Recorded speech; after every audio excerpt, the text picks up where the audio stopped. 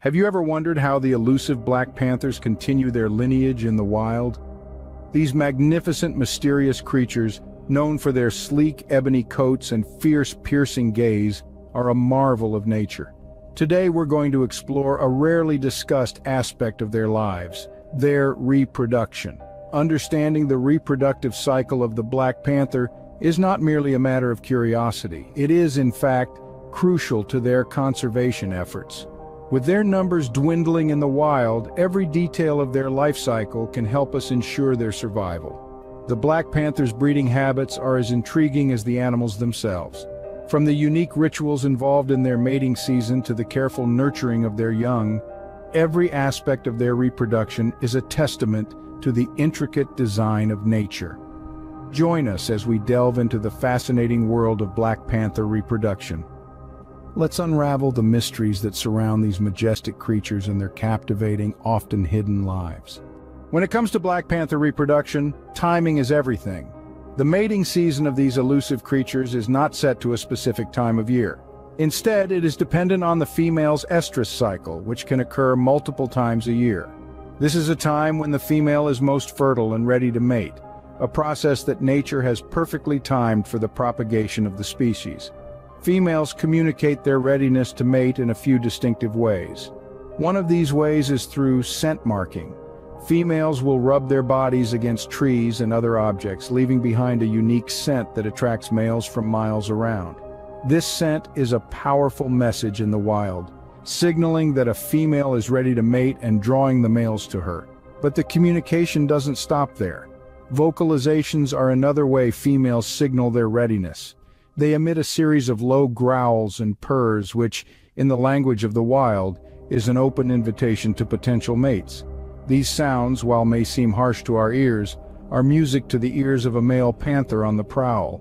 It's the call of the wild, a call that resonates through the dense forests and reverberates off the mountainsides, reaching out to the males in the vicinity. The males, upon receiving these signals, will begin their journey towards the female. This is a time of heightened activity in the panther world, as males compete for the right to mate with the female. It's a time of tension, competition, and anticipation, a time when the quiet stealth of the panther gives way to the assertive pursuit of propagation. So the mating season begins with the female's call, but how does the actual mating process occur? Stay tuned as we delve deeper into the fascinating world of Black Panther reproduction in the next scene. Once the female has signaled her readiness, an intricate mating dance begins. In the heart of the jungle, the male panthers, drawn by the female's call, embark on a quest to prove their worthiness. The air is thick with anticipation as these majestic creatures respond to nature's call. The intrigue of the Black Panther's mating dance lies not just in the dance itself, but in the events leading up to it. The males, each sensing the other's presence, enter into a fierce competition for the female's attention. They might engage in a display of physical prowess, a show of strength and agility that can be both riveting and terrifying. It's a silent, intense exchange, every movement heavy with meaning. This is no ordinary dance, it's a primal performance, a testament to the raw power and sheer tenacity of these incredible creatures. As the male panthers vie for dominance, the female watches, her discerning gaze taking in every detail. She is the judge of this silent contest, her choice ultimately determining the victor. The males, aware of her scrutiny, put on their best show, each trying to outdo the other in a display of strength and skill. Finally, the decision is made. The chosen male approaches the female, his movements slow and deliberate. The air crackles with tension as the two panthers circle each other, their eyes locked in a piercing gaze. This is the moment they've been waiting for, the culmination of their dance. The ritual that follows is a delicate balance of power and grace, a dance like no other. The Black Panther's mating ritual is a spectacle of nature's raw beauty and brutal honesty. It's a dance of dominance and submission, a dance of life. And then, as quickly as it began, the dance ends. The male retreats, leaving the female to her solitude once again. The jungle returns to its usual hum, the echoes of the dance fading into the night. After this intense ritual, what happens next in the Black Panther's reproductive cycle? The Black Panther's gestation period is a time of preparation and anticipation. This phase, which lasts roughly three months, is a critical period in the cycle of Black Panther reproduction. During this time, the female panther adapts her behavior to accommodate the needs of her unborn cubs. She becomes more solitary, avoiding unnecessary contact with others of her kind, and begins to search for a suitable den. This will be a safe and secluded spot, often a cave or a hollowed-out tree where she can give birth and care for her cubs without disturbance.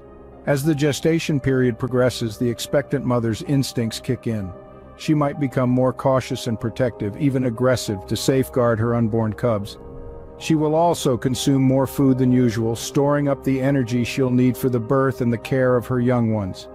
The gestation period is a time of transformation, not just for the mother-to-be, but for the entire panther community. The other panthers sensing the arrival of a new generation may become more alert and territorial. This heightened state of awareness helps to ensure the safety of the cubs once they are born.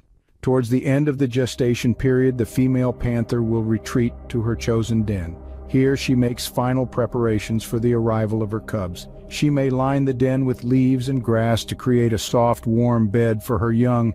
This is also where she will stay, nursing and protecting her cubs for the first few weeks of their lives. The gestation period is a testament to the resilience and adaptability of the Black Panther. It showcases their incredible ability to prepare for and adapt to the challenges of parenthood. The expectant mother in particular undergoes dramatic changes, physically and behaviorally, to ensure the survival and success of her offspring. With preparations complete, the birth of the new generation is imminent. This period of anticipation and preparation gives way to one of nature's most remarkable events, the birth of Black Panther cubs, an event that embodies the enduring cycle of life in the wild. The arrival of Black Panther cubs marks the beginning of a new chapter, a chapter filled with the promise of life, the thrill of the hunt, and the continuation of the species. And so, the cycle begins anew, with the birth of these magnificent creatures. The birth process for black panthers is much like that of other big cats. After a gestation period of roughly 90 to 105 days, the female will seek out a safe and secluded location for the birth. This could be a cave, a dense thicket, or even a tree hollow. It's a place where she can feel safe, protected, and can nurture her newborns away from the prying eyes of predators. Typically, a black panther will give birth to a litter of two to four cubs. These cubs, unlike their sleek and powerful parents, are born blind and helpless. They rely entirely on their mother for their survival. Their eyes, a stunning emerald green, won't open until they are about two weeks old. But even then, their world remains confined to the safe haven their mother has chosen, until they are strong enough to venture out. In the early days of their life, these cubs will feed solely on their mother's milk. They will stay close to their mother, learning the ways of the wild from her actions, her reactions, and her teachings. They will mimic her, follow her, and learn from her. It's a crucial time for their development, a time when they learn the skills they need to survive in the wild. As they grow, their playful antics will turn into serious practice sessions. They will learn to stalk, to pounce, to hunt, and before we know it, they will be ready to venture out into the vast wilderness to claim their own territory, to write their own stories.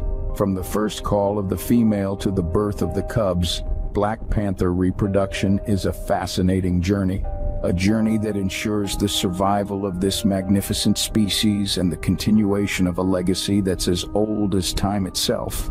Black panther reproduction is a complex but essential process for the survival of these magnificent creatures. From the intriguing panther's initial calls to the wild, signaling the start of the mating season to the mesmerizing mating dance, each stage is a testament to the intricacy of wildlife.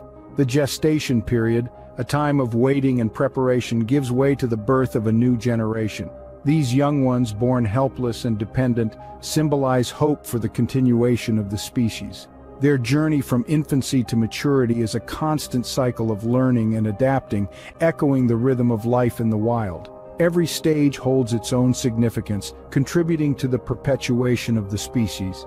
The entire process from mating to birth carries the promise of life, underscoring the vital role of reproduction in the circle of life. As we continue to learn and appreciate their reproductive process, we contribute to the conservation and understanding